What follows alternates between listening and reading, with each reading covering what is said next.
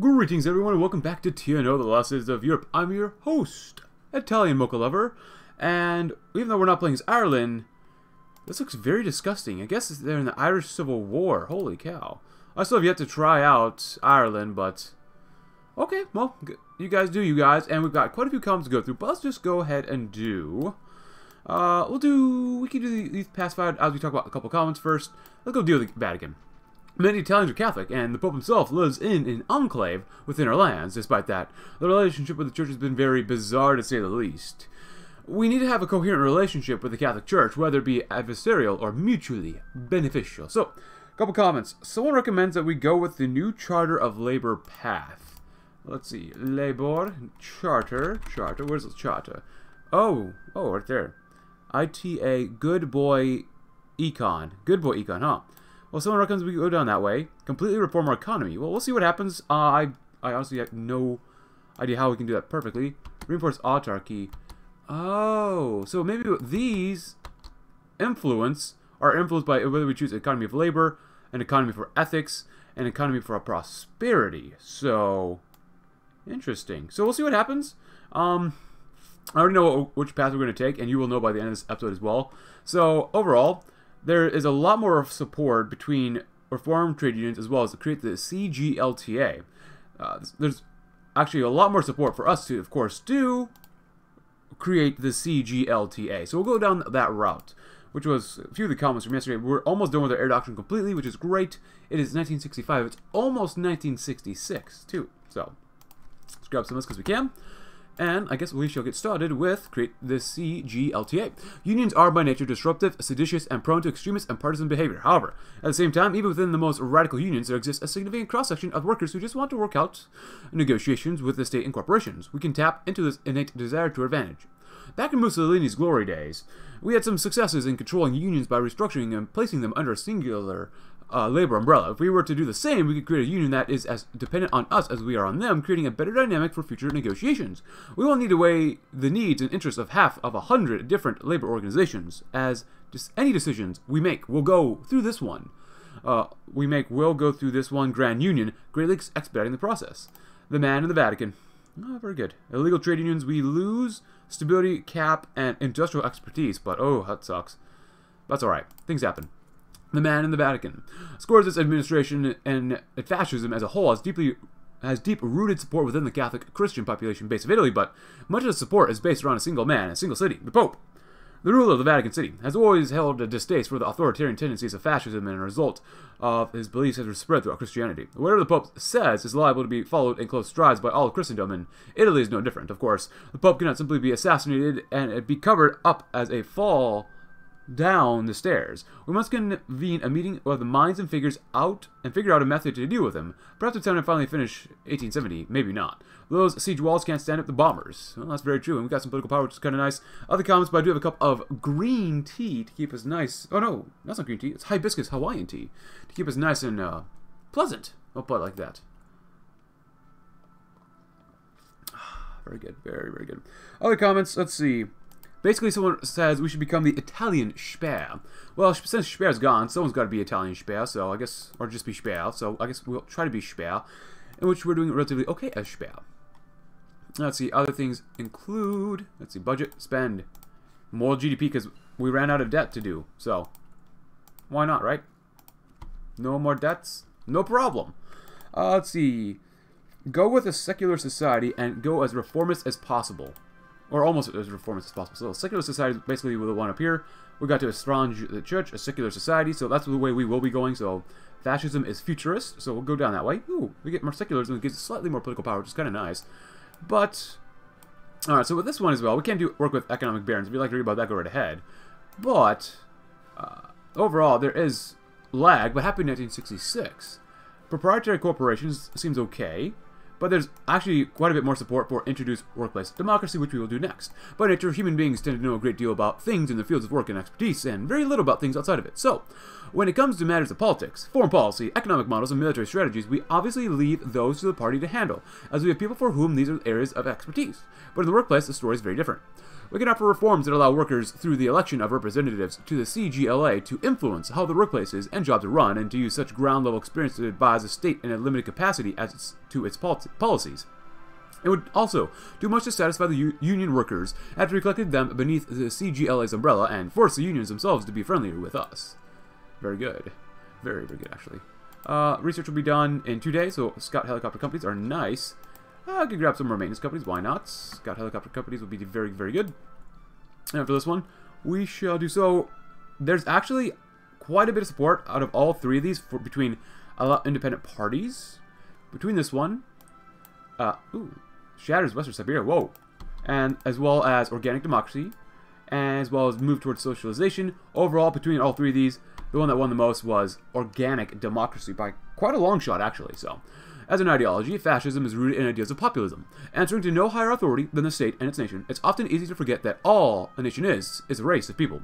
When it comes down to practical applications of democracy, it would be easier to know the nation's will if it was something that could be questioned, give, it, give answers, and make its opinions known. This is what a democracy is in practice. Yes. Ceasefire? Cool. Wiretapping.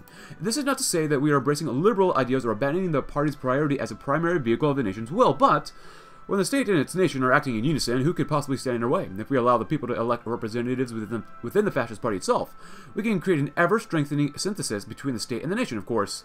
We will retain control over the state itself, but with an organic Italian democracy springing up at our feet, because that gives us even more reform points, which is not bad.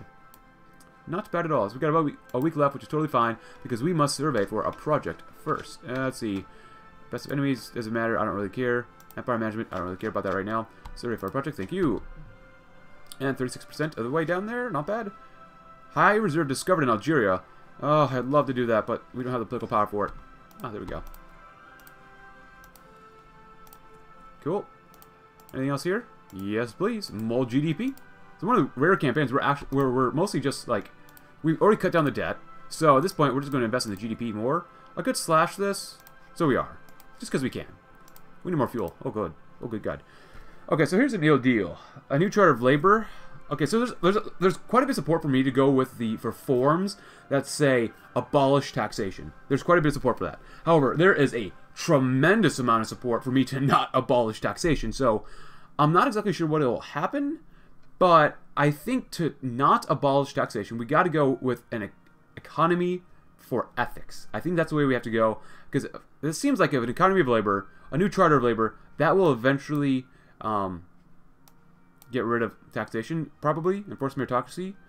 While I would love to go down this way, there's a lot of support to not get rid of uh, taxation, which I think is that way. So, it is what it is. I'm just going off with what you guys said, so we're going to go with an economy for ethics. Um, economy for labor would be nice, but we'll go down this way. So, after all this time, with no small degree of internal resistance to the project, we have finally established a firm foundation for building the new Italy. Our vision of a sane, sustainable, and growing economy that holds up to a truly modern standard. The liberal democracies of the world might decry our governance as brutal on the surface. There is no better way to shut them up than to show them that we are better in matters of both production efficiency and worker welfare. A happy working population is a productive working population, and a productive, productive working population is what we're going to march Italy from being a relative backwater, not realizing its full potential, into, a, into the power it was always meant to be. So yeah, I mean, I gotta play as Scorza like a few times. One with going almost full reforms and taxation. One going, you know, reformed sort of establishment Scorza, and then conservative Scorza with slight reforms, and then there's Scorza with just full-blown conservative hardline, not going to budget on anything. So, uh, that's 12 days left. That's, that's quite, that's quite a while. Quite a while. It's all right. Uh, let's go and grab some of this then. Oh, there's a little bit of lag. There you go. Cool. Mm, budget goes up. I wonder if we can change that growth rate. Hopefully it gets a little better than what we currently have it. What are we currently building? We're building factories in Siwa. Hopefully I won't regret that eventually. Eventually. I would like some more radar though. That would be pretty good to get. Just in case. Especially if with Daddy Goring up there, don't really trust them that much, I'll be honest. So, an economy for ethics. We actually get an establishment point. Uh, we actually have more population, but less cap, which is, you know, whatever. So what does a reformed economy look like? Eastern Shield, of course. We have this one. A reformed economy, less consumer goods, more tension, growth, and base. That's not great. That's not great. Cool. And after that, we'll see what happens and opens up later on. But let's go and estrange the church. Why not?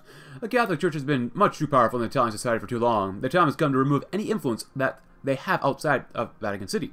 We will remove Catholic religion from the public schools and shut down pro-papal mouthpieces. This may outrage the church and the Pope may complain, but it's necessary to save Italy from the papal control. We lose fascism support, but we do get five more reform points, which means nothing because we can't do anything about it. So, kind of sucks, but whatever. And fund the project? Yeah, that's probably a good idea. Alright, looks good. And you know what, at this point, let's grab a bunch more. Wow, we like, a, like no fuel. Um, yeah, I don't want them to raise their autonomy level, so... Saudi Arabia?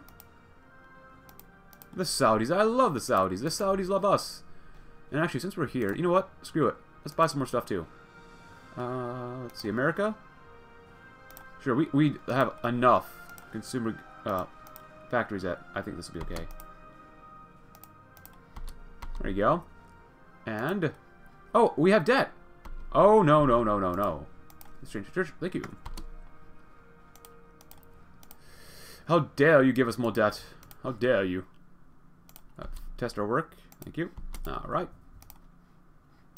So, we're doing economy for ethics, um, I guess we still have to go down a new chart of labor. Okay. An economic fortress. ITA, MEH, so this is my, my, my boy my boy Econ. This is good boy Econ. What a country needs is bad boy Econ. Really showing you what the devs think about what the, what the economic routes are, but, you know, whatever. Uh, let's go down this way. Yeah, they got better artillery. Nice. Alright, then. I guess we'll have to go down this way. Um, completely reform our economy. The state of the relationship between our labor and business has been allowed to stagnate into an unsustainable rot upon the nation. The Carta del Lavoro of 1927 gave the industrialists far too much leeway, and they took full advantage of this fact.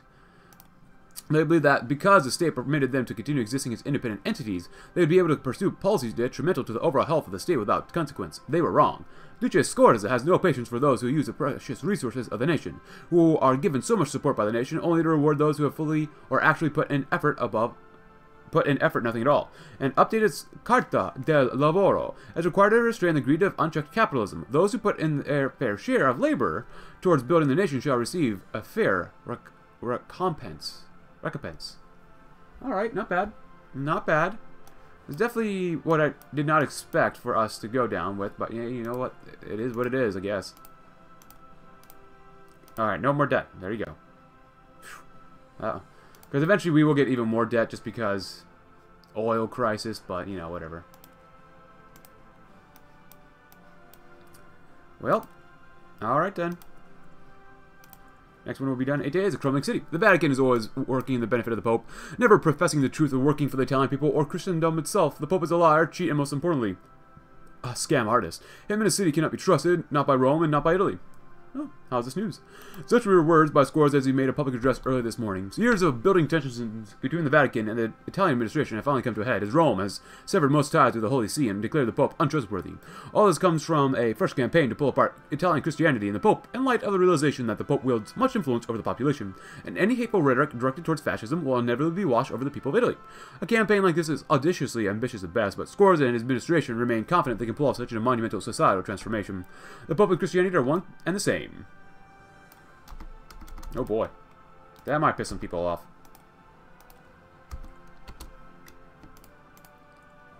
If we need to trade a little bit more... Actually... Oh! Oh, and it begins.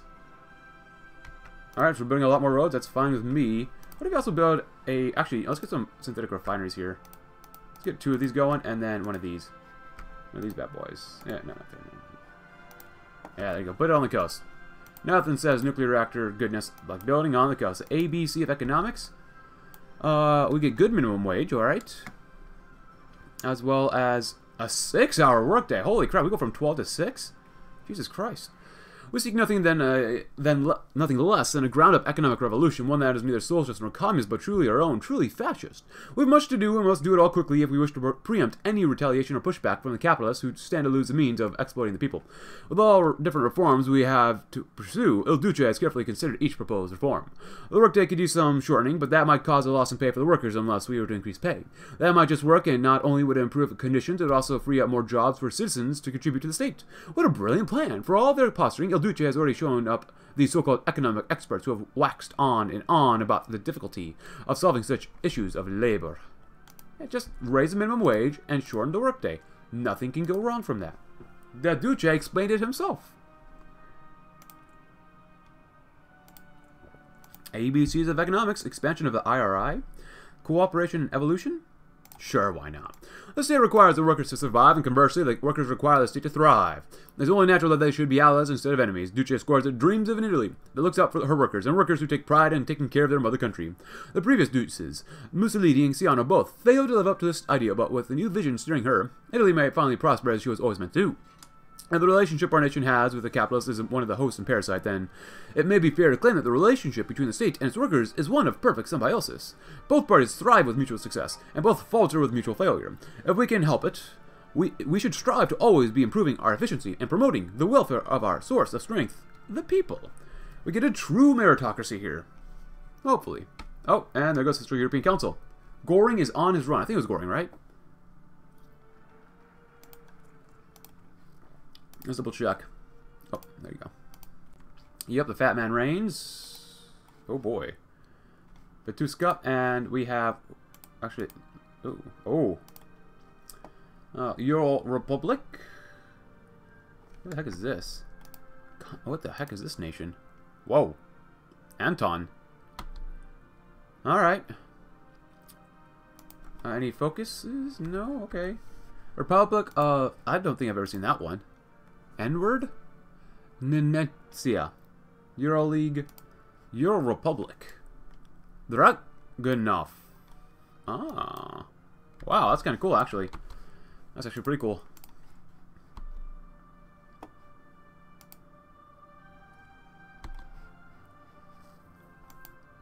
Still a lot of resources, but what else is new, you know? Um, that one's going to be done. Project being decided, and boom. Alright, well, the economy stuff is kind of fun. Come on, let's go down. Uh, dismantle the tax system. Oh, there it is. Uh, I don't think there's anything we could do. I mean, you, you saw me go down an economy for ethics. Was, was that the wrong one to do? Um, I thought if you go hard left side, you go down the left side. Oh, no, no, no. Oh, no, no, no, no, no, no. Oh, this is a, that was a mistake. I mean, how do you get down here then? Uh, maybe you have to go down an economy for prosperity then. Oh, uh, wow. Income rate minus 50%, so it doesn't mean you get rid of all your money, but let's do expansion of the IRI. With the capital finally out of the way, it will fall to us to provide more direction for the economy than we have previously thought. We won't repeal the mistake of neglecting the issues of the workers and people, hoping naively that the factory owners and the bankers and the capitalists would solve all the problems. No, we will oversee everything with a watchful eye. We hope to achieve this uh, the RI will need, of course, to be supported with more funding and resources, though. It'll take some time for the new system to properly adjust to this level of oversight, but very soon the Italian economy will work like the perfect machine it always should have been from the beginning. One that serves the best interests of the people and the state, not the wealthy and the, of course, elite. Oh, crap. Uh, my apologies. I didn't want to go down this way. I thought with, thought with, uh, it is what it is, I guess. Well, hopefully when we do the democracy route, when I play as Italy again, it should go a lot better. It should, right? It should.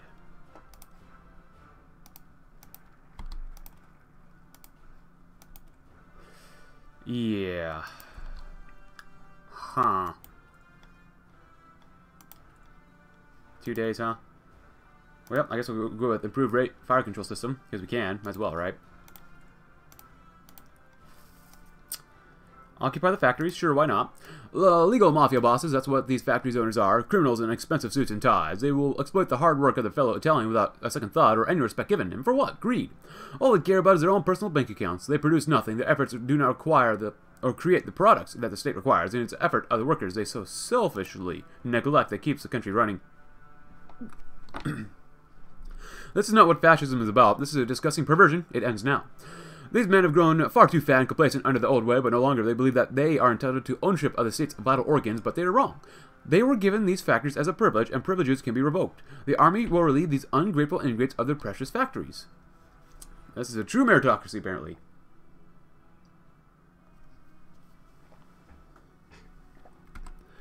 But we do need to keep an eye. Uh, need to know where Germany is at with War Plan A, huh? I'll with the Irish. Expansion of the IRI. Oh, yeah. Good claims on... Oh. A tin pot for broken men. Well, there's no guarantee that he'll actually go to war with us, because Goring is pretty... AI Goring is pretty bad. He still might be bugged. I don't know at the time it's recording, but maybe. So what is this meritocracy thing? Hmm. The ABCs of economics. A true meritocracy, not bad. State-controlled industry, not bad either. Let's go with new industrial investments. A major priority going forward should be to shore up our industrial base so that we might be able to compete in a global economy. For far too long has Italy been industrial backwater compared to our neighbors. Agriculture is all well and good, but it won't put Italy on the world stage. No, what we need are more factories, more goods being produced, more exports. The good news is that we can directly control how we wish to expand our industry. Consumer goods, military equipment, whatever, we can choose the direction of production with our new control. Drafts have already been drawn up, ready to be sent to the IRI headquarters at a moment's notice, once we've decided on our approach and it shall uh, improve the effect of the state-controlled industry as well. Let's see. Yep, we got, we already went through organic democracy, workplace democracy. Someone recommends in the comments from the last video to conquer as much as possible. So we'll see what happens, you know, I'm not against that at all. That's kind of my hope to do that as a fascist Italy, to conquer as much as humanly possible. So, we'll see. Uh, yeah, I don't want to abolish taxes. I really don't. You guys recommend we don't. I don't want to. But it seems like we're forced down that way with Mr. Reformist Scorza. Uh, that's the case. I might want to keep a small little thing of uh, liquid reserves just in case we actually have debt eventually. Oh, peace in Vietnam. Peace in our time. 16 days left, huh? Alright then, I guess we'll reform the OND. That might be really good. Maybe. Alright, so who says that we should not reward those who provide us with their de dedicated efforts in the pursuits of a stronger state? The communists and socialists have always attempted to worm their way into the hearts of the workers by promising adequate compensation and the rest for hard work. How can we, as the greatest nation upon the face of the earth, promise any less than the right rabble? We've had a recreational club for our workers, the OND, for quite some time. Initially, it was quite similar to the YMCA in America, but it later morphed into a unique display of Italian and fascist solidarity for the laborers. We have the opportunity to take it even further, though. We can make it a universal perk for all the dedicated patriot workers. We can also expand the activities it can organize by increasing its funding. Remember, a happy worker is a productive worker. Cool. Let's go ahead and... Uh, expand just a wee bit more, and more growth, because we're going to need more growth. And reform the OND. Next research shall be done right now. Your hospital is very good.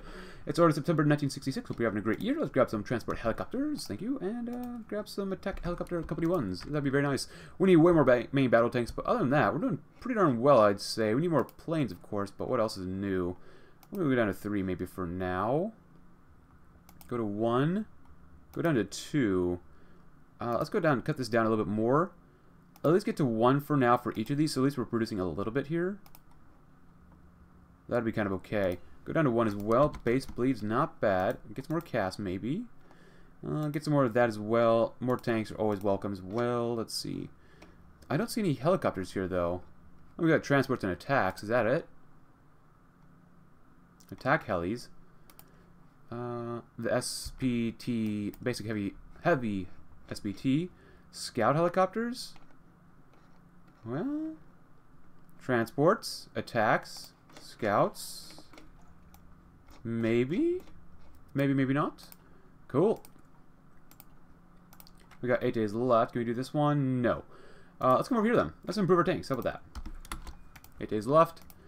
Uh, that's fine and will probably provide the capital next and further financial supervision. It's been common practice since the earliest days of mass market economics. That interested parties, often investors and banking institutions, have kept their eye on the ever fluctuating patterns of financial boom and bust. We allow them to use this information to make their own investment decisions because we naively hoped that they would have our best interests at heart. We no longer hold any such delusions. We now know that we can only rely on ourselves to make the right calls, uncorrupted by greed. New offices are being established with the sole purpose of monitoring all economic action within the state, so that when one sector does face decline, we shall step in to provide for the people. Um, we have an improved academic base. The foundation society is in writing. It cannot be overstated how the institutions that define civil life rest on the bedrock and on the written word. Society marches, her, marches forward hand in hand with the literature of the time. It lives and dies by the high tides of writing. She sleeps when the pages are burned and wakens when a curious young person decides to scratch something on that palm leaf. It's a progenitor of the liberty and may spell the end of it. Our schooling and our literacy matter more than nearly anything else. When it dies, progress isn't just halted, it be actively begins to wither. Progress towards whatever ideal, be it racial purity, free markets, or equality, cannot survive without a pen. So, yeah, so our universities have expanded. But some man today is newly learning how to read and opening up the Pandora's box at his writing. That is something to be celebrated. Wow, 7.5% more research speed? Not bad. We have some of the best scientists in the world. Oh, I didn't realize this was 1965 stuff. Whatever. Doesn't matter to me. We're pretty much done with all that stuff anyway, so... Let's go fund the project. 42% is not bad. It just takes, God, way too long to do all this stuff. And further financial supervision. Anything else? No, thank you. Good. Provide the capital. In the short term, our efforts to bolster or boost our industrial production and economic growth may require an infusion of cash and resources, but our experts agree that taking the time to prepare a stable financial base will pay out dividends later. Wages, land, foreign resources, and the like are not cheap, and now that we've taken full responsibility for the economic affairs of our nation, we have a corresponding duty to support the national industry and making this abrupt transition. The chief of the newly re reorganized budget office has been meeting regularly with Scorza recently to discuss the funding of multiple agencies and programs for the purpose of transitioning the economy into lines that we approve of. Pretty good. Let's come down here and test the work. Very, very good. I, I'm still ignoring it, like, eh, trying to get Romania or Serbia into our sphere of influence, so we'll see about that eventually. Nope. Oh, wait, we, we have debt again? Oh, my goodness. No, no, no, no, no, no, no, no, no, no, no. I don't believe in debt. Uh, we must provide the capital, though. And there we go. So we have state-controlled industry, of course, a true meritocracy. Ooh, wow, plus 30% construction speed. Holy cow. Mm. Reformed economy, of course. Next one will be what? 400 million in debt. Hmm, what a shame. Absolute shame. Supply more trained managers, though. The workers are willing and able to serve the nation in all the capacity to do so through, through, their labor, and we have full confidence in their skills, however. They are still workers at the end of the day. They still require the direction from men of ambition and skill in order to thrive, just as the overall people of the nation need leaders to survive the harsh realities of life. It's not enough to give a task to the servants of the state. Guidance is also necessary in order to maintain correct order. This is where our new managerial schools shall come into play. Now that we've had the factories firmly under our own authority, we can select those who show the most promise and place them in positions of trust. If they perform well, they shall be handsomely rewarded, and if they fail, they can be replaced with minimum hassle. Trained managers are usually probably a good thing to have. It's better than untrained managers. There we go. Whew. Nice. 82 billion. We're getting better. We're getting better and better, everyone. State-controlled industry. So we have state-controlled industry. Output's looking really good. A true meritocracy is looking not too bad. ABCs, yeah. That one just state-controlled industry. Handle it from here. So a free market of competitors and innovation is not inherently a bad system, it is in fact one of the best economic systems ever devised in human history. But this is no longer an era where you can rely on free markets. When we said the free market system was one of the best, we meant it. But one of the best does not mean the best. No, that honor belongs to our current innovative system that allows us to harness the positive aspects of the market system with equally strong benefits of the command economy. We can direct those enterprising and competitive captains of industry to better benefit our nation. Oh, yeah, there goes Divine Mandate Siberia. They're doing a good job over there, having a good old time. Now, what's going on with uh, Papa Goring? Titan Atomic Security, huh? And who's their puppet? Is it also? It's not Austin, is it? Slovaki. Slovakai. Slovakai. Okay. Alright, good luck. Good luck with that. Oh, sorry for that'd be good. That'll do something. We get a higher GDP. And I got some better managers. Handle it from here, though. Good, even better tanks. The bestest tanks. Ah, good, good, good, good. After that, we shall do a state-led industry. What is the job of a leader? As Duce Scorza has explained, the role of a good leader is to improve the state of both the individual members of the group as well as the group as a whole. It is with this philosophy that we will direct the economy, like a conductor leads an orchestra. Like an orchestra, the successful carrying of the, out of the mission will result in a harmony where the subgroups complement and amplify the results of the others until it is art. The art of economy has not been given its rightful status compared to its cousins, but we will change that. We will be artists sculpting a new Italy. Oh, and there goes Wales. And England, of course. So, good. Alright everyone, so we've already gone ahead and finished state-led industry, which we shall do hands of the state. E economics of nations are great, intricate leviathans that present far too much complexity to be handled by mere individuals making decisions based on personal interest and greed. No, it is a truth that the economy of a state should exist to serve the state and not the other way around. For that reason, it is unconscionable for the economy to be directed by any entity less than the state itself. With our hands, we will mold the future of even the economy itself, which is our power over all within our domain. We shall uplift the dedicated, the worthy, the patriots. We shall push aside the corrupt, the greedy, the capitalists. Much like a father raises his children with the values of responsibility and dedication for the benefit of society, so sh shall we raise a system of ours to promote the welfare of all Italians by requiring it to always act in interest of the greater good of our people. Very good. And also, we have a little bit less manpower right now just because I already went ahead and added it on to our infantry divisions field hospitals. So, I thought since we had such little manpower, we might as well throw on some stuff to make sure that our manpower will do slightly better in the future, but enforce meritocracy. What determines a man's value? Is it his name? Could it be his wealth? Perhaps it is measured in his land ownership. No, none of these individual things can tell the true worth of an individual. As Duce Scorza has always taught us, it is the effort that the individual has put forwards or towards the betterment of the state and the successes of those labors that are the only true indicators of value. The noble worker, whose sweat-covered brow and calloused palms have more to offer to the nation and the people than all the decadent capitalists combined. The former is a shining example of the ideal fascist, the latter are parasites that seek only for their own profit at the expense of the others. From now on, it shall be by merit and merit alone that will matter for the purposes of judgment and evaluation. The ideas of elitism and nepotistic favoring are merciful no more. Cool, and we already did all this. Let's grab some Signal Company 2s, and maybe we get some better uh, skirts, or turrets, or heat integration for our tanks. And we'll soon have multi-layered ceramic composites. Alright, still no debt, which is nice. I'm completely avoiding the get rid of taxation thing, but hey, whatever. Chain snapped, huh? Very nice. Ooh, lo Stato de Lavoro, but it feeds them. Oh boy, the guiding hand. At last, Italian industry is as it should be. The controller of the means of production will not rest with the greedy and short-sighted employees, or employee employers, nor with the filthy and ignorant employees, but with us. We are the rightful representatives of the Italian people, the Italian nation, and the Italian future. Is it not natural that we should determine Italian production as well? Although there are still plenty of skeptics, in time they will understand it is for their own good after all. For a moment, a handful of incidents of bureaucratic mismanagement have been reported. Rotten apples that must be plucked for our nation to achieve its true potential. Fascism above all else. Very good. And for the future, we gotta cut that down. We'll see what happens. And obviously, it's oh, it's 1967, like I said, I think. But I don't want to get rid of taxation. No taxation. Income rate minus 50%. Well, we're I think at 42%, right? Oh, I don't want to get rid of that yet. I really don't. I would love to do this stuff down here, but oh, national corporations. Oh, I don't want to go down that way. Well, let's go down and do something else. Hmm. I think we should do some of this stuff down here as well. Legacy of Caesar. Well, maybe we'll try that one. To say that we have a strained history with the French nation would be to put it mildly. Ever since their unification, we've always considered that them a major competitor, an obstacle that they have had the same sentiment for us, too. We may have fought alongside them in the First World War, but we were robbed of our rightful claims after they seduced us from our original partners in Germany and Austria. When the Second World War broke out, we seized the opportunity, therefore, to take the land we had originally been planned to press for, Savoy. No, our recent history with France has not been a happy one, yet it doesn't have to stay that way. After all, we share far more in culture and spirit than we have had differences politically. The Roman legions helped civilize Gaul, and now it's time for Italy to once more aid and add France back into its domain. The change snapped. Throughout the modern history of humanity, there's been one constant, men work and man takes. The relationship between labor and capital has been an endless litany of recriminations, recriminations, and sabotage.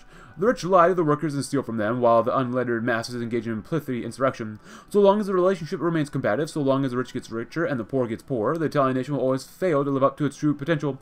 It is the duty of the fascist state to enforce a non-combative relationship between the classes. In practice, this means that the factory workers will tend to the gardens and the bourgeois these theirs. Naturally, the upper classes will have the most to learn in this new arrangement, but thanks to the strength of our noble forces, they can do nothing but whine and glare from the sidelines. A change is coming to Italy. Oh, a little bit of lag there, huh? Let's keep increasing the GDP because we gotta get higher and higher, not that invisible. Uh, fast east is the future. Oh no.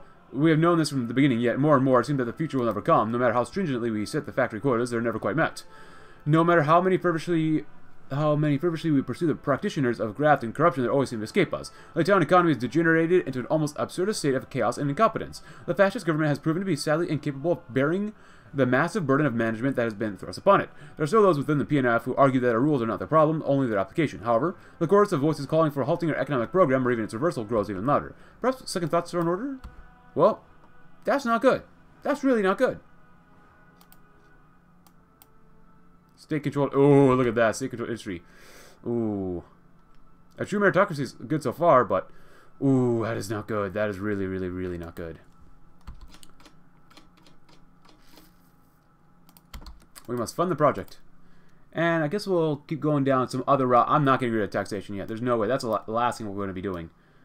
Uh, how about debates in the ISPI. Italy is the greatest, as we all know, and emerged from the greater war greater than ever, carving out a vast empire in the Mediterranean, Middle East, and Africa, now commonly known as the Italosphere or Italosphere.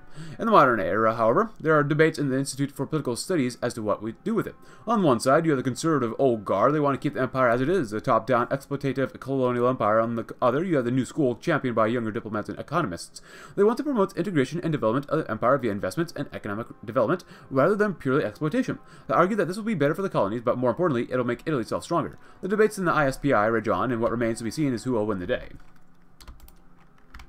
And actually, if that's a case, uh, we have this stuff, of course. It was recommended in the comments that I should just give myself some political power so we can do stuff here.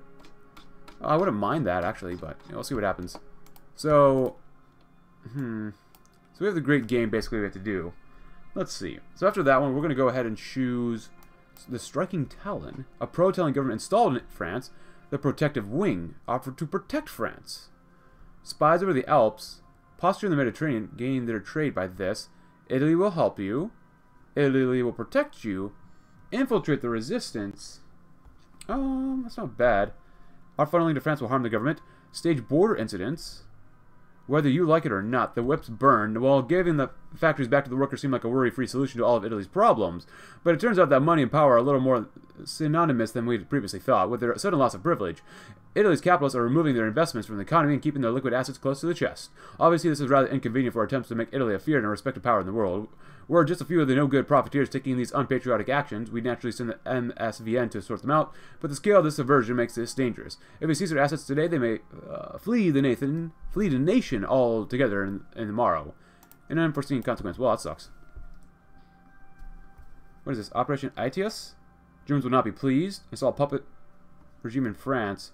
Whether you like it or not, the Germans will not be pleased. Okay, advisors in the French government. Rewrite French laws reorganize the French army, renew the French economy. Well, it seems like we should probably go down the right side, because eventually we do want to do it more peacefully the next time I play Italy, so the Striking Talon might be the way to go. No, I can't even, I don't even have political power yet, so it seems like things are all falling apart here.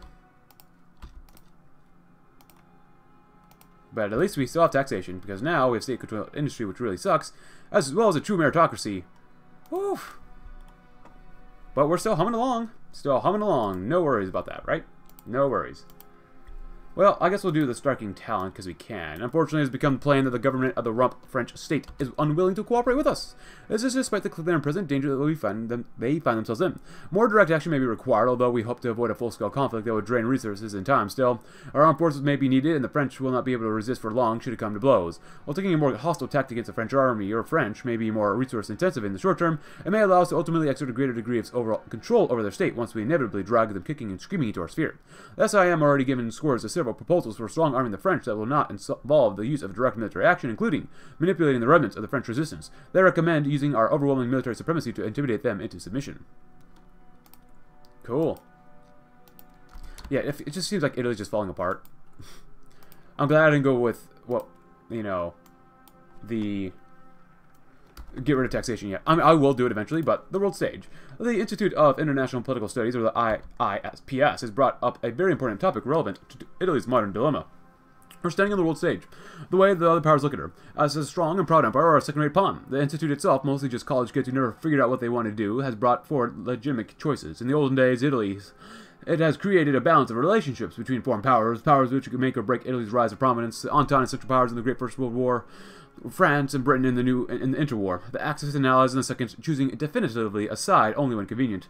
The situation Italy faces now is not too different, simply another balance of power between the superpowers of the world. Italy must nudge the powers off each other to get what she wants. There is another proposition, however, one more radical. Italy does not need outside help anymore, for she is a powerful empire with domains of her own. Our foreign diplomacy should be modeled directly around what Italy wants and what Italy demands, her sphere and her influence. No more playing second fiddle, no more answering the wishes of other nations. Italy will stand on her own legs. Either option has individual merits and inferiorities, but a choice must be made, and may be made soon. The vultures are closing in around Italy, and a path must be carved out to get the chaos to ensue. Sovereign nation, uh, sovereign empire. On her own, the new school. Superpowers game, the old school. Well, let's see. We'll probably want to go to the new school, since we're more reformist, but, you know. Yeah. Promote imperial integration. Encourage imperial cooperation. An effective committee, which is not bad. A symbolic committee, which is okay. And a rubber stamp committee, which is also not bad. Or we do the old guard, which doesn't make too much sense for us, so we probably have to go with the new school. Right, oh, well. Well, I mean, technically, the new school, that sounds like more democratic, more reform-sided, so that's probably the way we want to go. Actually, eh, well, they do have low taxation. If you go to no taxation, then go back up to a low taxation, that actually be pretty darn good. Six-hour workday with eight-hour workday, selling spree. Well, I think we've got to go with the new school here. So, let's see. Basic common economic planning. Hmm. Promote imperial integration. Well, I'll leave it up to you guys. Should we do that or encourage imperial cooperation? Either one doesn't seem like it really does too much. Free trade seems good.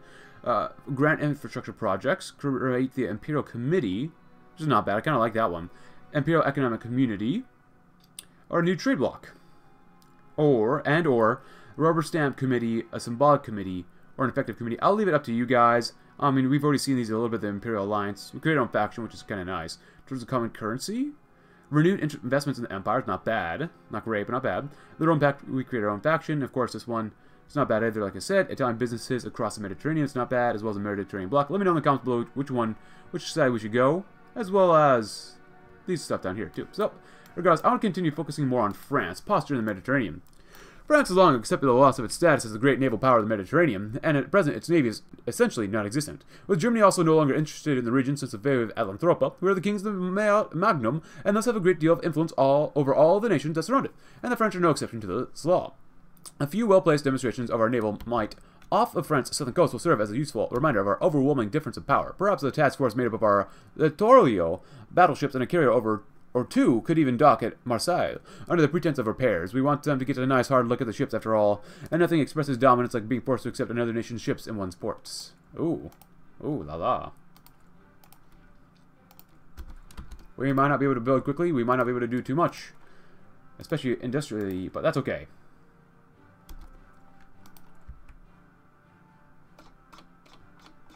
We don't even have a great game yet, so it's very weird. And then spies over the Alps. why not? It always helps to have eyes on inside, or so the phrase goes. We can account for our own actions, of course, but not France's. Being unsure as to how France will respond to our overtures or direct actions could cause us a great deal of headache and delay while we attempt to parse every single line from the ambassador's letter or every single movement of military assets. Is this a simple redeployment or something more serious? We can't waste time on guesswork when the stakes for our position in Europe and beyond are so high. Scorza agrees that it would be better to have as much information on France's actions as possible from sources as direct as we can get. That's why we have deployed several SIM agents via parachute and by foot across the mountain border where they will attempt to gain access to French government ministers and military officers. Keep spending, keep spending. Well, it's looking slightly better. Slightly, ever so slightly better. And spies over the Alps. Very, very good. Let's see, stage border incidents. sure. There's a long and well not quite venerable, but a long tradition of faking small-scale violence along the borders of nations one wishes to involve itself with to create a pretext. The late Führer of the Reich was known to favor such underhanded methods, and while one may deplore the negative aspects of such means, the results cannot be argued with. The spooks over at SIM are well versed in such tactics, and no doubt already have conscripts or already have scripts covering dozens of potential incidents with the French. They'll need to be small enough so as to not provide a justification for all-out war, but significant enough that we are obliged to take action even if we have to strong-arm the French into cooperating. Of course, any power worth its salt will no doubt see through our trickery, but we will leave no traces that would allow them to definitely pin it on us. Oh. Very good. Yeah. Oh, man. Italy. Oof. Pretty rough.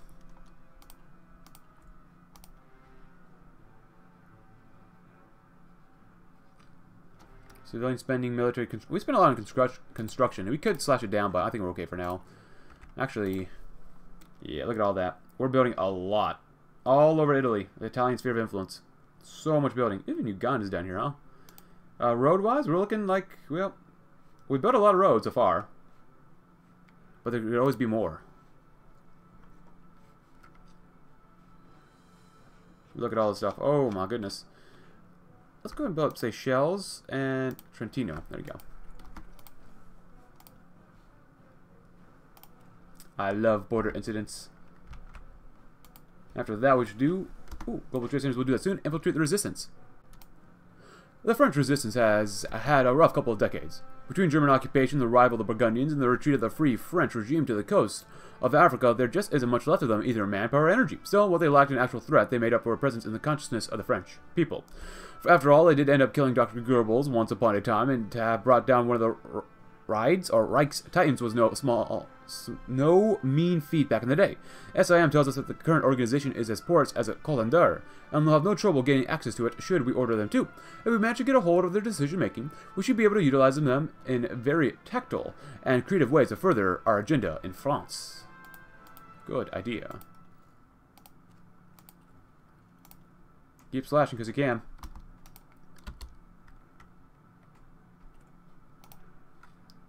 Nice. Got to get that GDP up as high as possible right now. And we have about three days left, and then we'll have that one done. Oh, done at the same time, basically. And there goes Norway. Oh, boy. Oh, boy. I still got to play as Goring sometime, too.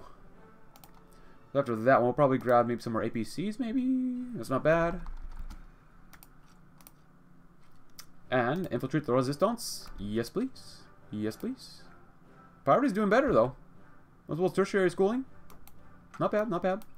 Well, how about Operation Aetos? Sim's infiltration of the French resistance remnants have been paying off splendidly, and it would not be an exaggeration to say that we have them on puppet strings. With that crucial step completed, we can now turn to the second phase of our plans to drag the French state to our side, the decisive replacement of the government, and then the de facto integration of the empire. We need something quite big to justify such an act, however, and that's where the rub, rub, rubes, or rubs of the resistance come into play. Go name Aetius, or Aetius. The plan will see one of our border supply depots blown up completely. Luckily for us, we will only lose some outdated equipment, and as all of our guards will be miraculously on break when the attack happens. Still, they will arrive just in time to kill one of the perpetrators, a member of the French resistance, as it will be discovered, and our casus belli will be assured. Then we can begin the second half of Aetius, wherein we use our newfound excuse to overthrow the current French regime. The Germans will not be pleased. Well, the Germans are never pleased. What do you expect? Uh, let's grab some of this. Because they're going to be used very heavily right now. Um, how many soldiers does the French nation have? They're looking pretty weak. They have 10 to 15,000 manpower. They Okay, nobody. Oh, that makes it easy. That makes it very easy. Now, I'm sure the Burgundians won't look that, like this, but, you know, whatever. Hmm, not bad. So, they took out Norway very quickly. They might have just naval invaded, but aerial recognition... What are they up to? Oh, centralized military hospital seems like a pretty good idea. A lot of volunteers. Pride in Goring. Pride in Dr. Goring. Dr. Goring. Oh, that'd be kind of weird. Ah, very good. After this, ooh, Alpine infrastructure projects. Regardless of our approach to pulling France within our fold, we still have to prepare for success now before it becomes an unsolvable problem later. The Alps separate our two nations by making land travel already difficult and cumbersome, and given our relations with France, we have allowed what little exists in the way of roads and other transport infrastructure to languish. Oh boy. Having a path in our soon-to-be allies quickly as possible is paramount, which is why the Ar Army's engineering corps has been called on to spearhead the task of updating old roads and blasting mountain tunnels for new ones. The French government must not does not know yet the full extent of this refurbishments, but it only knows benefits to them, so why did he, so why have them worry about it now? There you go, why not? So usually at this point, at least from what my understanding is, regarding Goring, he bugs out when trying to take out Switzerland, or he just isn't able to take him out or something, so... Against a German giant, strength and defenses, wow. Plus, basically plus 30%. Cash must flow, that's not bad. Gotta play Switzerland someday. Hopefully, I do want to see Goring. I kind of do want to fight Goring, to be honest with you. Ah, very good. What's going on here? Testing in progress, constructing civilian factories, that's nice. Uh, invisible invasion. Okay, so the board has been set and the pieces have all been moved down to the concrete positions, or the correct positions. All that stands between us and the control of the French state is a single order. With a single command from his desk, Duce Scorza can begin a chain of actions that may reshape the balance of European power significantly. The French will be completely caught off guard as the takeover begins in earnest. Our ships will train their guns in the ports as our planes fly over the tops of the government buildings. No shots need to be fired. The French will understand the futility of the situation instantly. When the reality of the situation is inescapable, our army will begin marching into the country, disarming the forces, and occupying the capital which will be a great, great thing. I want to watch Goring. Oh, he took Bern. It's not bad. Goring, Goring is doing, he's doing work. Nice. And that's not looking too bad either. Come on, Goring. I can't believe I'm rooting for Goring. Oh, wow, look at that. Oh, boy. That's a pretty sad tank division. Come on, Goring. I can't send volunteers, which kind of sucks, but whatever. Nationalized banks. Oh boy. Invisible invasion. Italy brain drain. Hum. I'm not sure if these reforms are really worth it, but maybe that's just me. We got a few days left for that. I'm gonna wait to read another focus before we get there. Oh, they took another tile. Not bad, not bad. Oh, Geneva's probably gonna fall as well. A little bit of lag. What's going on? Goring's still leading. Oh, that's not bad. I like that.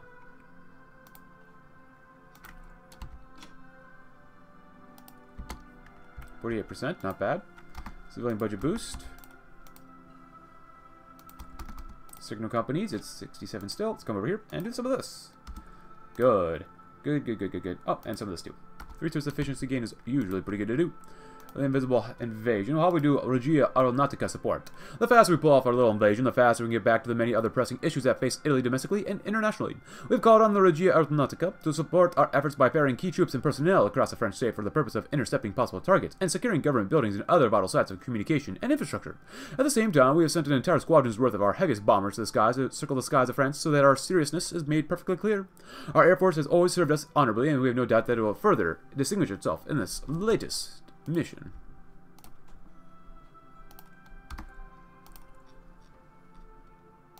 Very good.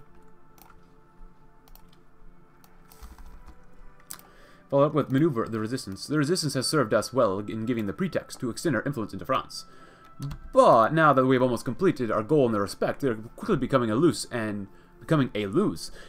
And we need to tie quickly. Luckily for us, they have yet to discover our total infiltration of our organization, and information we pass to them will be taken as the absolute truth. No doubt they will become desperate. Not only will the French government still retain anti-democratic still remain anti-democratic, but they will see us as a little better than the Germans. Well, let them think of that if we can convince them to initiate an attack upon what they believe is an unprotected target, only to realize too late that they have been fatally misled, all the better for us. We may lose some small amount of men and equipment, it is true, but sacrifices are unavoidable in the brutal game we find ourselves playing. Indian communists in the Gulf. Oh no. Carlos Scorza's face altered between masks of confusion and frustration as he parsed through various reports and reconnaissance Im images. So, you're sure it was the communist uprising? He looked into the eyes of the SIM officer who had delivered the latest batch of information. Yes, sir. Our last report from the governor, Oriana, has indicated communist agitations were in progress, and the aerial photographs bear that out. He gestures to one of the images. If you look closely, you can see the red flags that we believe to be communist in origin that have draped across the governor's headquarters. Scorza stared intently at somewhat blurry objects that were suspected of being icons of the Red Insurrection in the Gulf. Without even looking up, Scorza spoke to the intel man. Any word from Oriana since the last time I asked? A shake to indicate the answer. I'm sorry, Maduce, but all that we know of is that the most is that most of the 4th Naval Division was able to pull out of the Gulf. We believe the Admiral simply gone silent until he enters into our territory once again. Scorza sighed and, with a wave of his hand, dismissed the other man. He needed some time to himself to sit in peace and to think. What a headache. Oof.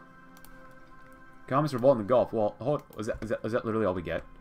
Is that literally all that we get? Hmm. Mm-mm, mm-mm. Afghanistan be, do be looking kind of thick, though. Oh, boy. And the Gulf, that here? Oh! So it just happens. There's nothing we can do about this, huh? Oil cult? God, he's looking... I don't know, it doesn't seem exactly perfect yet. He seems like he could maybe use a little bit more polish, maybe? Know, just, just from what I see, it seems like he could use a little bit more polish for, you know, for his, you know, portrait. But that's just me. I, am not an artist, so, well, physical artist, I guess. Uh, Cypher. Uh, Germany. There we go. That'll take forever, so. Okay, they defeated Switzerland. Um, that's not good for us, actually.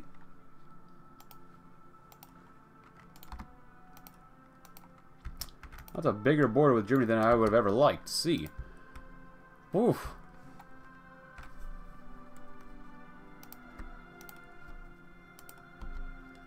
A little bit of lag. Anything here? Guerrilla fighter. You guys have infantry expert, and you have you're an invader, so no. Anything else? Nope. And uh, we're to maneuver the resistance, of course. Emperor Puyi. Well, goodbye, Puyi. Have a good, well, good time in wherever you're to end up. All right, not bad. Not bad. Now, it doesn't make any sense down here that the Hellenic state is not under the influence of the Italian Empire. Are you sure about that?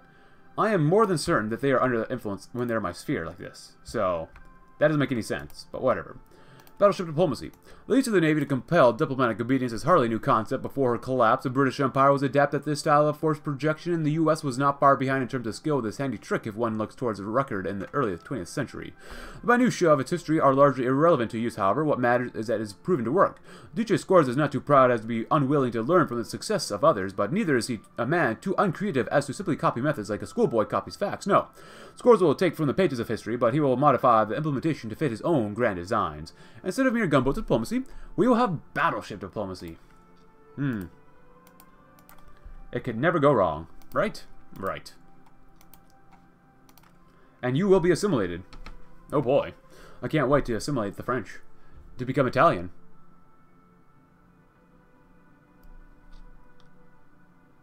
And...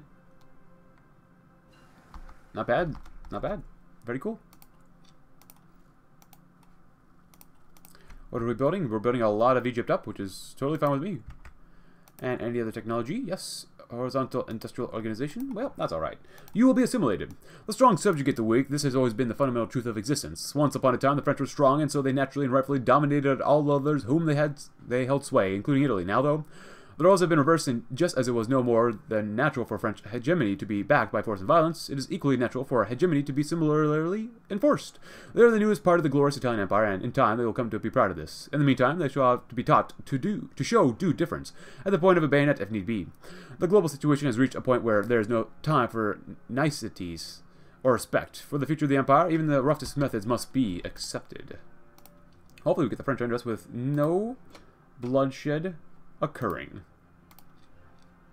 Yes. Advanced drop tanks. Battleship diplomacy. At least schooling's still getting up. I mean, in the last update it was 8.75. Now that we raised it up, it's now 2.75, which is still not bad. And we get to academic golden age would be pretty nice. Pretty darn nice. You will be assimilated. Yes, you will. Follow it up with... With what? Oh, goodbye. Hello. Alright, you know what? I kind of like this side how about we do the Legacy of Trajan? It says something about the treacherous nature of the Reich that the original independent members of the Axis in Europe, only Bulgaria remains, in much the same fashion as Hungary did, and much the same fashion as we did, the Romanians have learned how comfortable the Germans are with abandoning former friends. Still, it would be unfair to lay all the blame for the present condition on Germany alone, for they have themselves to blame as much as anyone else.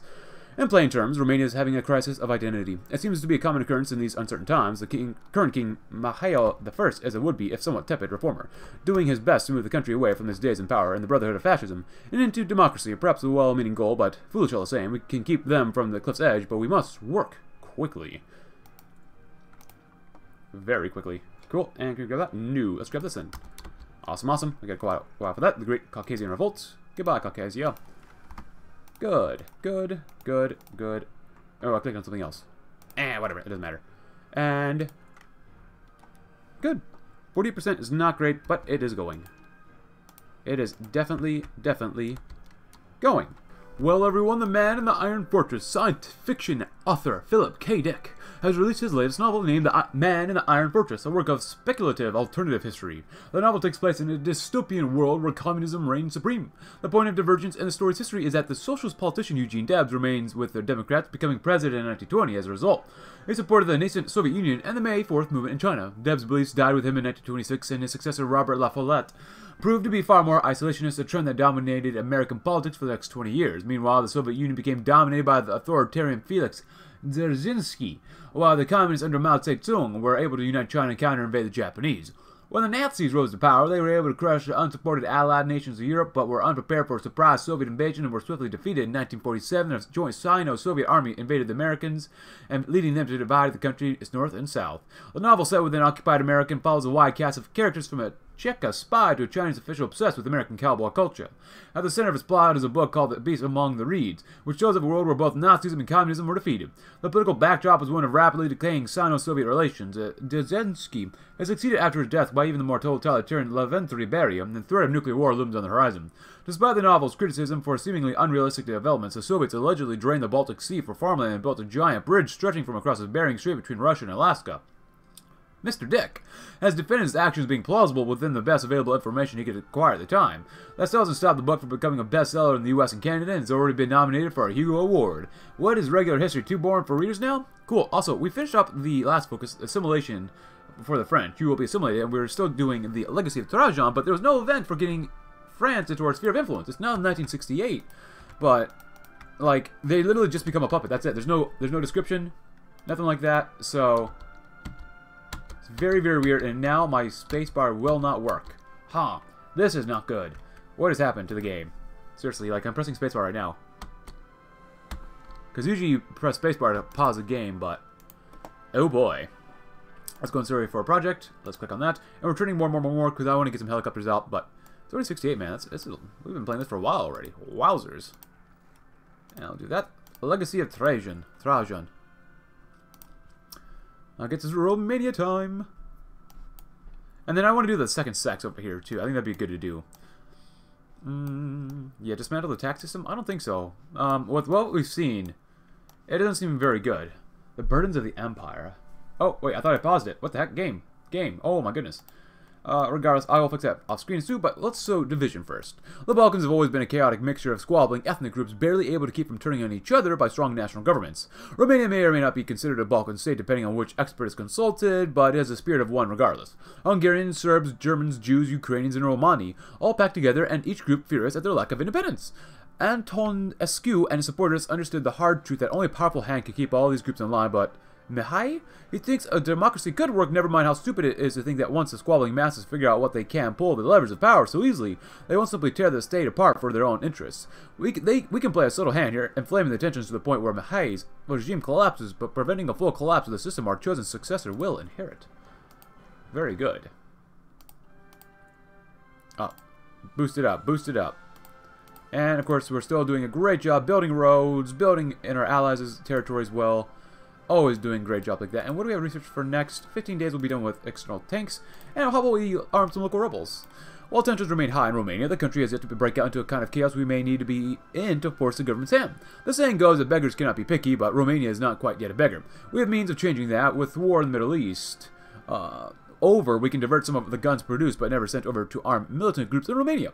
I'm sure they'll be grateful for any material support, and the best thing about it is that we need not to be implicated in any of it. The SIM has been instructed to make sure that there's no evidence linking the shipments to our government. That would be pretty darn bad if that were to happen. Our funneling Romania will harm the government. I love harming other governments. I love it so much. So division. I love it. So yeah, as you can tell, I've not added any more political power to our stuff yet. I want to see what happens naturally and see what's going on. And let's go and read another uh, little focus here. asylum for exiles. With each passing day, more and more of those who would oppose the current Romanian regime depart from their homeland for foreign lands. Some have been forced out by the agents of the state and have no choice, but some choose to depart before such a fate could befall them, and still others travel to seek assistance from mercenary groups, rival nations and their own people abroad. If we wish to see the removal of Mihai, well, the minimal direct action exerted, it is with these very terrorists, ex expatriates, and general scattered dissidents who must we must make common cause with by directing order of Duce Scorza. Scroza Scorza. Our border control agency has been instructed to expedite the asylum process for any person or persons who can begin or prove origin in Romania, regardless of stated reason for asylum or status within Romania itself, no doubt. We will hear protests over this, but the Romanians know well full that they have no way to enforce their demands, and what's more, they know that we know this. Their complaints will fall on deaf ears. And we shall now fund paramilitary groups. We've already finished up, of course, arm local rebels, and asylum for exiles, but in times of chaos and violence, it is only natural for communities to want to feel safe and secure. Well, we live in chaotic times, and there are many communities in Romania, big communities in fact. Communities that border on the size of small nations of their own, and what do all self-respecting nations need? Why? Militaries, of course, but militaries are quite expensive, unfortunately, and even if they pooled their wealth, it seems doubtful that any of the groups in Romania could fund their own forces. Unless, of course, someone else provided the capital for such a program. Who would be willing to make such an investment, though? Who could possibly gain more from a destabilized Romania than from keeping their coin? We, of course, are just as mystified by this little puzzle as anyone else is, of course. Now, we do have 400 million in terms of debt, but that should be cleared up soon enough. Very, very good. And actually, we're already more than halfway done with this one, so we shall smear the king. Why not? At one time, the monarch of Romania had the worst reputation of any royal since the death of the Romanovs. That man was Carol II, father of the current king. His decadence and general debauchery was the shame of his homeland, contributed greatly to the disillusionment of its people towards the status quo in the years preceding the last war. Why is this relevant? After all, Mihail is not this man, but merely his son, and surely bears no guilt for his father's sins. We However, no longer live in a world where truth is a final arbiter if anything is to be learned by the successes of the late Dr. Goebbels. By the time our propaganda campaign is ended, the whole of Romania will remember the scandals of Carol II. They will learn that the son clearly does not fall far from the tree, and they will long for the return of Antonescu, who can deliver them from the failure of a king. And next up, we shall do anything here? Nope. The death of Antonio Oliveira Salazar. Big sadness, one can do you down, and some intelligence to go. Very nice. That end.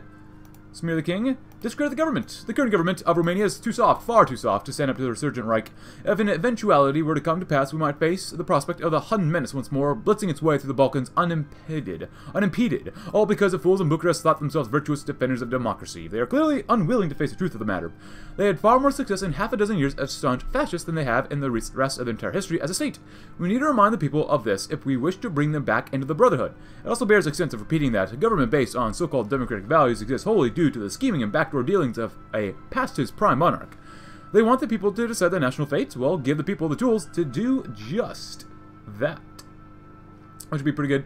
We're doing better on fuel now, even though we're from refineries, we got minus 1300. Wow.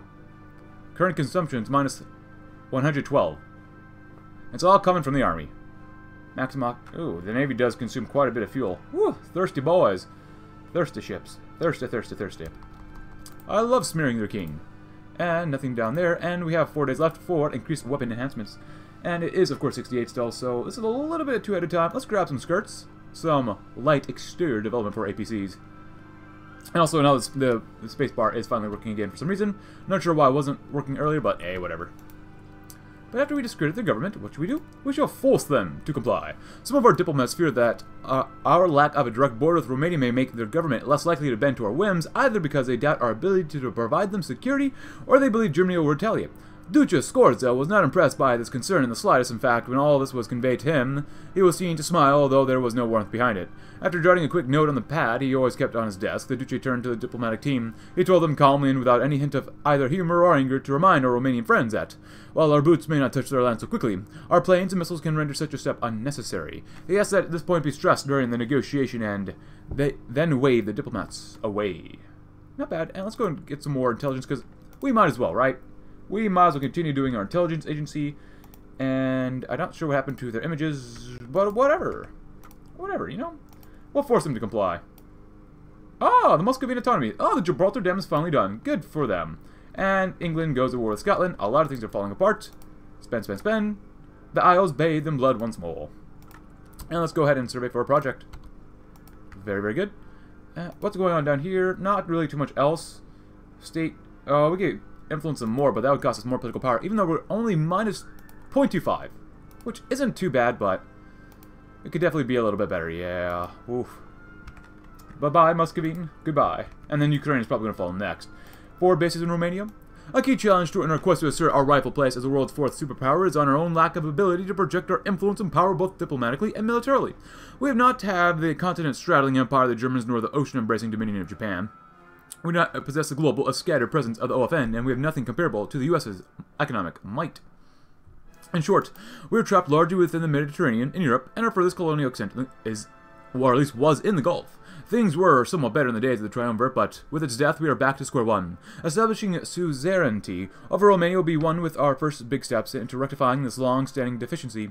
The world will come to respect our might, even if we have to leave a trail of bruised and bound nations in our wake to do so. In which they get Italian bases. Get more stability, huh? Wasn't expecting that one, but okay. Not bad, could be better, could be worse. And we shall force them to comply and spend more on our GDP.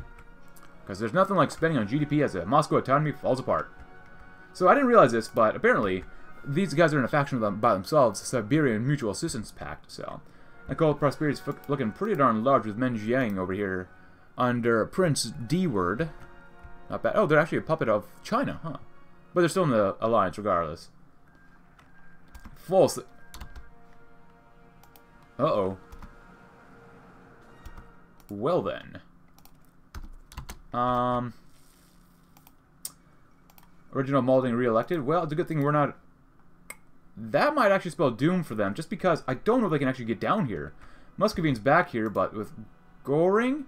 Challenge the U.S. in an... Oh, no, don't, don't you dare. You're going to cause World War III. I don't want nuclear strikes, please. Well, Italian missiles in the Carpathians. Trust is a crucial part of these sorts of negotiations, but while most think that establishing trust is important mainly for securing a deal, Duce Scorza is another mind entirely upon the point. The Romanians will agree to our deals one way or another. They have no real choice when all said is done. No, what the trust determines is not the success in achieving their deal, but creating an environment where the long-term effects of the deal can be maximized in our favor. We've had our fill of fair weather friends, first the Germans and then our fellow triumvirs. There will not be a third betrayal. So, if we need to establish a few missile launch sites in the mountains to deter any aggression against Romania, then no problem. In reality, this serves us just as much as them because our investment means nothing if Romania falls. For the love of God, Goring, do not cause World War III. We're just trying to struggle as a small little fourth-rate power here. God, how, we're not making any cash, even though we put, did put some military factories on them.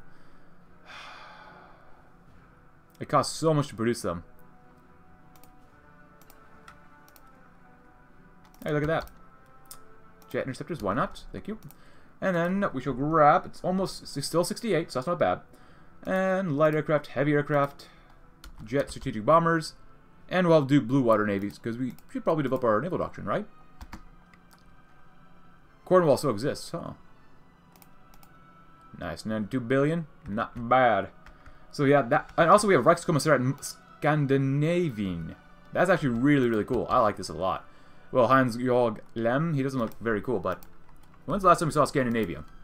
I don't know. Uh, modern Kantai Kessen. Well, we're still fascist, so I kind of might want to go down the way that Japan did well against American Navy, so let's go down this way. Follow it up with another focus, shall we? I want to finish Romania first, and then we'll do stuff about the second sex, like I said, like I said before. So, leash the government. Once we bring Romania back into the fascist fold, we must ensure that they never again stray from the path.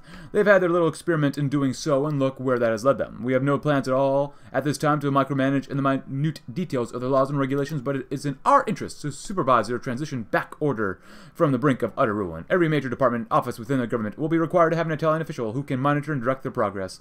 Those who seem to us to be committed to improving their state will find it rewarding in terms of rank and office, but if we suspect that any of them are attempting to sabotage the effort out of some misguided notion of freedom or such foolishness, the consequences will be severe.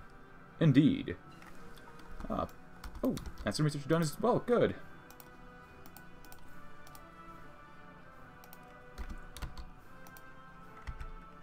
Point seven ninety two billion is not bad. They get a whole building base. Hmm. Unequal oil treaties, not bad. Will be forced to give us their oil. Alright, exploit their economy? Oh, I like that. I like that a lot. But let's leash the government first. That'll be good. And we have a total of 23 Army XP. Not bad. Not great, but not bad. Alright, so over here, not looking bad, like we said earlier. And over here, could be improved. Uh, let's exploit their economy. In the glory days of the Roman Empire, there were many kingdoms that, for one reason or another, excuse me, were deemed unnecessary to conquer outright. Indeed, or instead, the Romans devised a system of tributaries that would supply them the spoils of conquest with only a fraction of the effort. Well, Duce Scorza is a well-read man, and in his quest to perfect his beloved fascism, he will take whatever he can find that works. The Roman system worked, and thus we shall see if the classical lessons can be applied to modern times. Romania's economy will act as a subordinate to our own in all things from here on out. Their trade will be tied to our trade, their production to our production, and so on. Let us hope that while we can take from their successes while avoiding their failures, hopefully get some money from that or more factories. That'd be kind of nice. I'll gladly take free factories. Seven days left, huh? And that's how many? That's how many days left? Oh, oh, actually got it done. Wow, look at that. Um, actually, Slovakia, Slovakia. Money, yes, thank you, thank you. We love money. Um, oh, one day, good. Support weapons five, very nice, very nice and exploit their economy.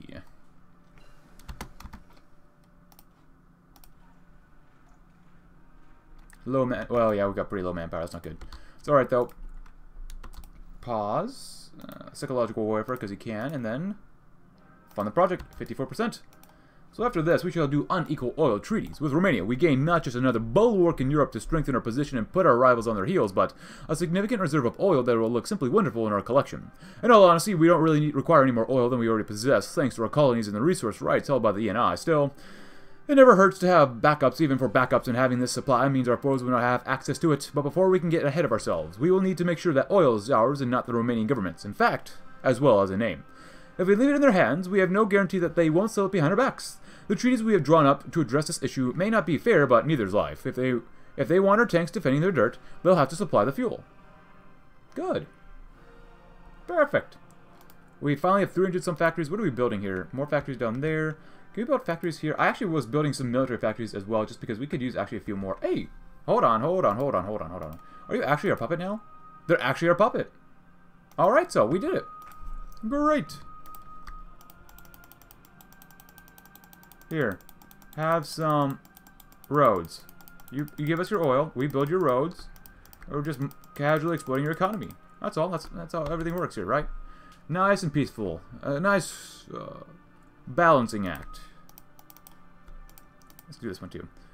Just to work. That'd be good. And one equal oil treaties. Yes, give me your oil. A little bit of lag. What's going on? I'm probably auto saving.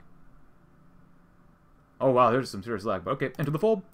The negotiations have ended. After several tense days of deliberation, debate, argument, and two almost brawls between the diplomatic parties, a deal's been reached that, if not what the Hungarian people may necessarily want, will be for the greater good of the nation. Negotiations have ended, and Italy has emerged victorious. The days when Italy was liable to be dragged this way or that along the chessboard of the major world powers is over. Now, Italy does the playing while once domineering, domineering France quails at the Burgundian horror. Proud England lies emaciated, shattered into a thousand parts by the German hammer, and the once mighty behemoth of the Reich lies scarred from the wounds it brought upon itself. Together, Italy and Hungary will forge a new path irrespective of the wishes of these has-been powers, one towards true peace and brotherhood among the like-minded countries and of, of Europe, sick of the old song and dance.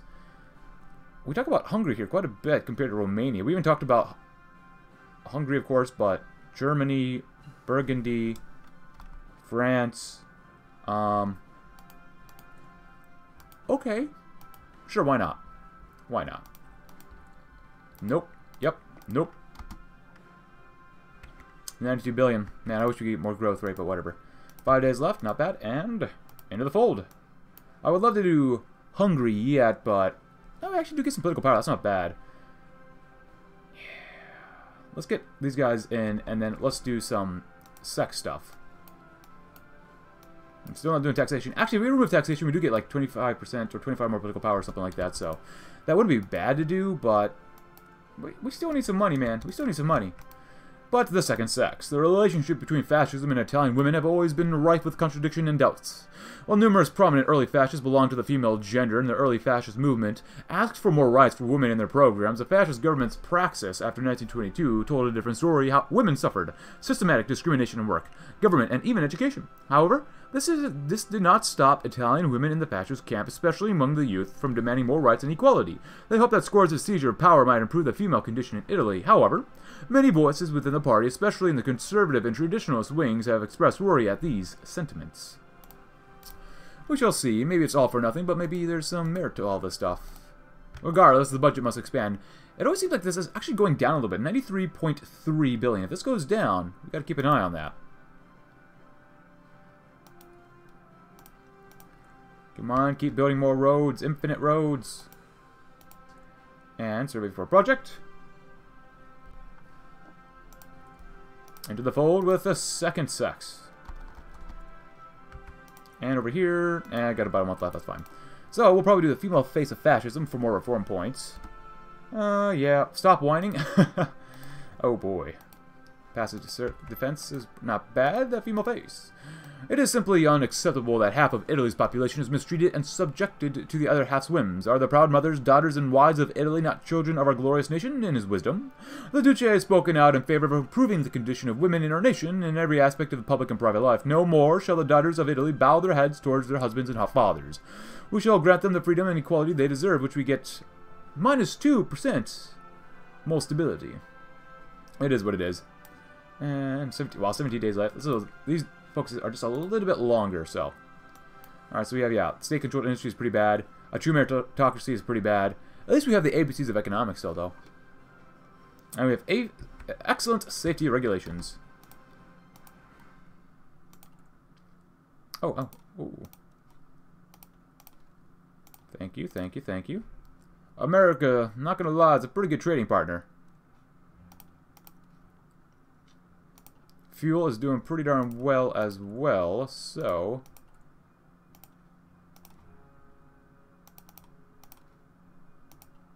Not bad, not bad. Are we still trading ships? No? Oh, we got a lot more ships here, too. You're basically an entire another task force. So there you go. Go and train. Alright, got a few days left here. Anything for this? Still can't build cast, which really, really sucks.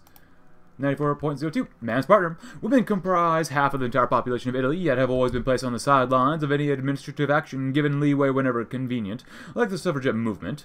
Uh, fascism has always put them in the place of housewives, childbearers, homemakers, whatever else to disadvantage them. But Duce Scorza sees the issue inherent with this form of thought. For Italy to function as a united nation, its population must share control among themselves, equal opportunity, so everyone may bring Italy to her full potential.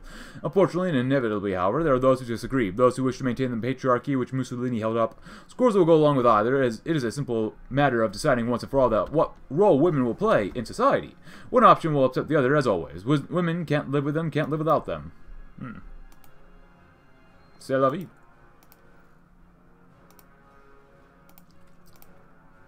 And work out gender, so, hmm. Appeal to tradition. Not bad. Or promote gender equality. Yeah, I guess we have to go that way because it's on the far left side. The Duce is not a man who likes half measures, and regarding the gender issues in Italy, he does not make exceptions, leaving many conservative figures in the PNF outraged. The Duce has issued a series of orders regarding a plan to end gender segregation and discrimination in the PNF, legal matters, public education, and workplaces. This will be paired with a propaganda campaign to promote a model, a new model of a strong, committed, and emancipated fascist woman, willing to serve Italy and the Duce with the same dignity as her male peers. Jet strategic bombers? Why not? So after this one, we'll probably go with the Milan, a wire-guided SACLOS missile. Is that a SACLOS? That looks like a, like a playset for artillery. Oopsie, my bad. Uh, I did the wrong one too early. It's fine, whatever. Cool. Let's go and grab some support weapon 6 too. We got seven days left for effective armaments. Uh, that's still that's barely ahead of time. It's almost 69. Nice, but there's still other stuff we got to do, like submarine detection, undersea coordination tactics. Not bad. Not bad. Surface detection, organization. Minus 0.25. Oof, that hurts. Not bad. Workout gender. I mean, this gives you the exact same thing. Gender equality. Gender equality. So you might as well go for this one. Uh, let's go. Okay, cool. Compromise solution. Ban from service military assistance. Back to the kitchen. Or create the SAF. We'll probably create the SAF. To further legitimize women's new role in civilian society, would be a wise move to introduce them into military life as well. With the help of fascist activist Piera Gatteschi Fondelli, the Women Auxiliary Service, or SAF, will be created as an armed force in our country, with Fondelli being named General Commander of the new organization. Female volunteers at SAF will assist the other branches of the Italian armed forces in their task, and most of all, seeing women march in uniform together with male soldiers will serve as a reminder of the new age that has dawned for women in Italy. The Idol of Desire. Oh, non-combat only. Whatever. There have been new social endeavors to bring women to the forefront of society and national, national administration, but one problem remains fascism has always been built around the prominence of a single figure in the middle, and in this situation it is no different. To propagate the further empowerment of women within Italy, there must be a leader of other movement, a female face of fascism, as some have said. Well, the unfortunate truth is that while there is no real person to fill this role, uh, of course, while there are also, of course, female figures that have spearheaded certain divisions or individual movements, there's not yet one that can be agreed upon to lead the entirety of the feminist, feminist fascism. This problem must be rectified quickly, lest any momentum built up thus far be lost. If not strongman, is it strong woman? It is what it is. In which we will do secular society soon enough. Uh, anti-guerrilla activities. Ooh, do get no civilian factor. I like that. No talking, no action. State over church. Alright, well, we'll see what happens. How many more days? We got 16 days left, so let's go ahead and move on to here. And we're approaching 1969, like I said earlier. Not bad. Oh know, it doesn't seem to be going down. I don't know, my eyes are probably just playing tricks on me. Uh, what are we doing? Oh, I guess we could put down some resistance if we really wanted to, but... Not seeing too much, not gonna lie. Not seeing so, too much resistance around here. 0% is pretty darn nice, I'd say, already. Research? No, we're pretty good on pretty much everything, actually. Oh, look at that, Romania. Uh, oh, look at that, Israel line of the Italian Empire. They have a lot of investment in us. Nice. And our fuel is doing, well, it's doing okay. Could the SAF. Come on, and, ooh, 20% more crude population factor. Boom. Good, good, good. And then the new fascist woman, huh? Women in the workplace, or promoted gender equality, the face of fascism event. So although we met opposition, the Duce and his loyalists in the PNF have managed to set forth a program that will truly innovate women's condition in the country, no longer tied to archaic and oppressive dogmas. The new generation of Italian women is preparing to serve the state and the fascist cause with renewed zeal and enthusiasm. They shall be held up to the same standards as men and expected to contribute to the fascist revolution just like their male peers. Onwards they shall march to bring Italy ever greater glory and prosperity. Keep promoting that, keep promoting that. 95 billion. If I can get to 100 billion, that'd be great. But happy 69, everyone. Hope you're having a great year. And what's going on in German? Oh, Goring is gone. We should have realized that. I should have realized that earlier. Not you guys, but me. Uh, Goring is gone, and now he's, well, not going to be here anymore. The loop off was not bad. Uh, who he, who's trying to fight Bulgaria? That's right, and he, well, couldn't finish because he should have gone to war with Romania or someone else first. Someplace he's a land border with. Ah, second inauguration of LBJ. All the way with LBJ. How is England... Is England losing? They've lost Newcastle. Holy cow. No manpower. Uh, how do the English not have manpower?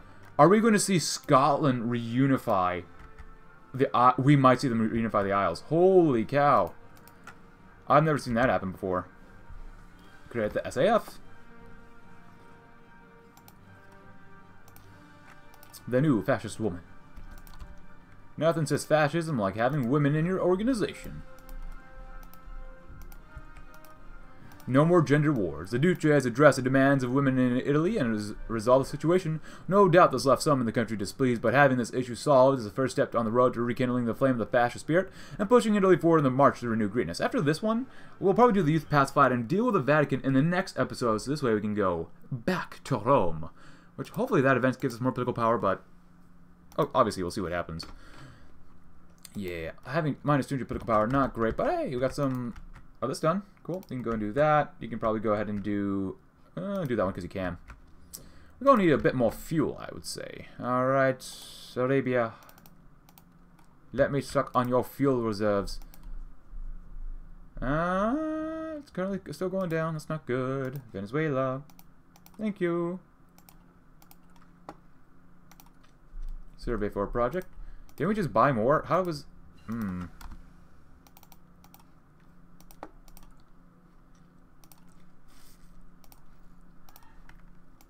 Not bad. Minus 0.3 every day is not bueno, but whatever. And no more gender wars. We have like... Oh, military austerity. God dang it. Cut that thing. And we're out of fuel again. Of course. But let's click on this focus, and we'll end the episode here. Uh, let's see. No more gender wars. And oh, let's read one more. Let's read, read more. Oh, no. No debt. No debt. I don't know what you mean by debt. No, no, no, no, no. A secular society.